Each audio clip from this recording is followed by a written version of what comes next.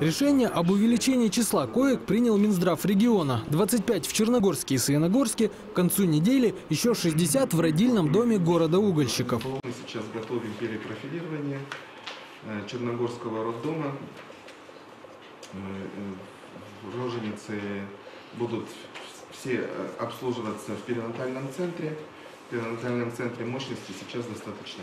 На оперштабе по борьбе с коронавирусом еще раз прозвучало. Жители региона не торопятся обезопасить себя и своих близких. В среднем вакцинируется не больше 700 человек в сутки, а общее число привитых перевалило отметку в 63 тысячи. Это четвертая часть от необходимого числа. В связи с этим говорить о проведении многих массовых мероприятий становится преждевременным. Так власти Ширинского района попросили согласовать межмуниципальную спартакиаду. Однако мероприятие придется перенести на неопределенный срок.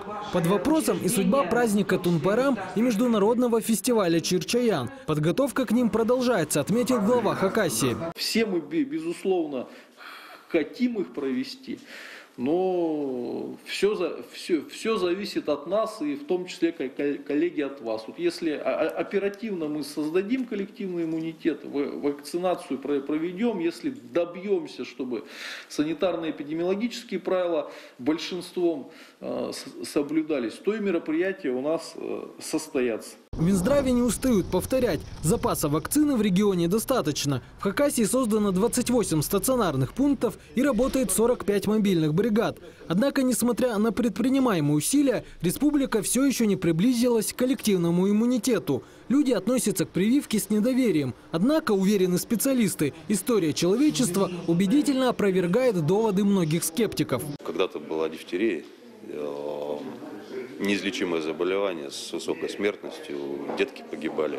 И с этим заболеванием удалось справиться только с помощью вакцины. И сейчас э, это же не мы только придумали, это именно Минздрав России, э, политика ВОЗ. Это создание коллективного иммунитета. Коллективный иммунитет можно достичь только вакцинированием.